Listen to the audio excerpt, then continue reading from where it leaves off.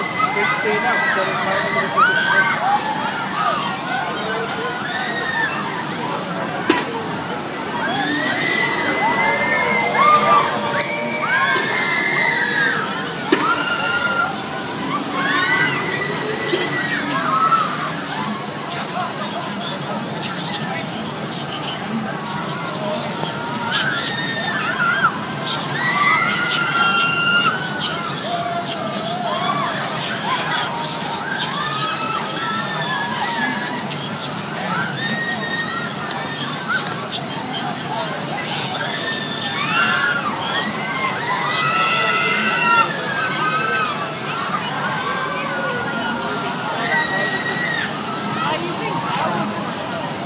stuff like this. Uh, it's a bad one.